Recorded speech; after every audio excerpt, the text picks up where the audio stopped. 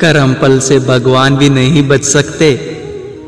भगवान श्री कृष्ण जब माता देव की और पिता वासुदेव को कंस की कारागार से छुड़ाने गए, तब भगवान श्री कृष्ण की उम्र चौदह वर्ष की थी। तभी माता देवकी ने भगवान श्री कृष्ण से पूछा कि आप तो ईश्वर हो, आप तो भगवान हो, हमें चुड़ाने में इतनी देर क्यों लगा दी? आप हमें चौदह साल से पहले भी चुड़ा सकते थे। आखिर हमें कष्ट देखते हुए चौदह वर्ष हो गए हैं। आप हमें इतनी देर क्यों लगा दी चुड़ाने में? तब भगवान श्री कृष्ण बोले, हे माता, क्या आप भूल गए हो? पहले जन्म में आपने मुझे चौदह साल का वनवास दिया था।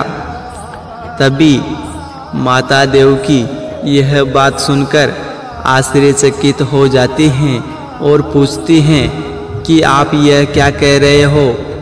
तब भगवान श्री कृष्ण ने कहा कि मैं पहले जन्म में राम था और आप थी माता के कई तब आपने मुझे चौदह साल का वनवास दिया था और माता देवकी ने फिर पूछा तो फिर अभी यशोदा कौन थी पहले? तब भगवान श्री कृष्ण ने कहा थी माता यशोदा, पहले जन्म में माता कौशल्या थी।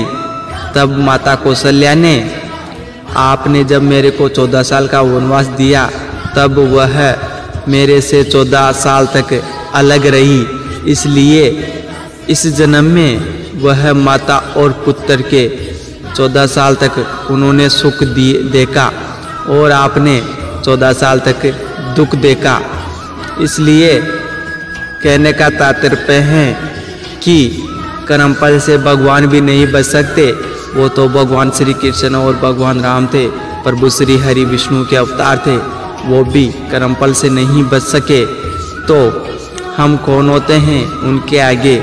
इसलिए आपसे तात्पर्य है कहने का कि जो भी आप कर्म करते हैं, हर एक कर्म सोच समझ कर कीजिएगा, क्योंकि हर कर्म का फल निश्चित ही मिलता है।